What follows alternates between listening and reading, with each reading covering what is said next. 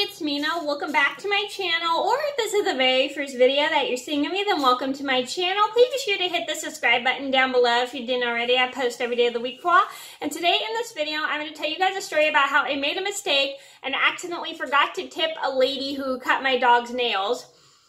Nails, and I felt kind of bad. So this is a story just to make sure you guys remember to always tip people who run small businesses because um, it's just a nice gesture just to give them a little extra tip if they do a good job for you, for you, like take care of things because small businesses don't make a lot of money as the big chains do. So it's always good to support your local businesses and give them a tip. So I made the mistake by accidentally not tipping the lady who trimmed my dog's nails. And I'm going to tell you guys the story. So I'm going to get started. So this all started a couple months ago. I was home I was at home all day because I my mom had an appointment scheduled for my dogs to my animals to get their nails cut. And so the lady comes over around I think like 1 or something and she trims my dog's nails and then she gets re- and then she trims so she trims Gabby. She always does Gabby first cuz Gabby's easier for her to trim. Trim because she's very very because she's very calm.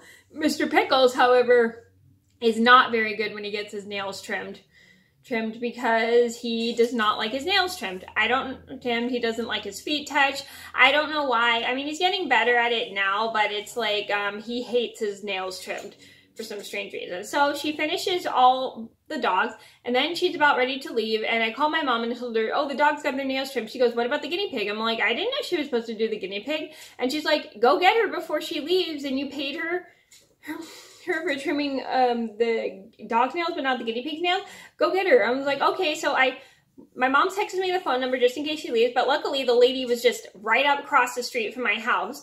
And so I go to her and I said, wait, wait, wait, so sorry, I forgot to have you trim my guinea pig's nails. And she's like, okay. So the lady comes back in to trim my guinea pig's, pig's nails and she finishes it pretty quickly. And she even finishes, trims a little bit of hair that's kind of like um, in a tangled mess mess for us and I was super happy she did that and so I once she finishes the guinea pig I pay her the money money and she counts the money and she tells me it's enough for the um, for all the animals animals and I told and I thank her and I was very grateful that she came back and so I call my mom, tell her everything got done. And my mom's like, did you give her a tip? I'm like, she didn't tell me she, no, I didn't give her a tip because the money in the envelope gave, she gave, I gave her, um, was enough. And she goes, oh, you should have given her a tip. And I felt kind of bad. And I apologized to my mom for not giving her a tip. She goes, no worries. Next time, just try to remember to give her a tip.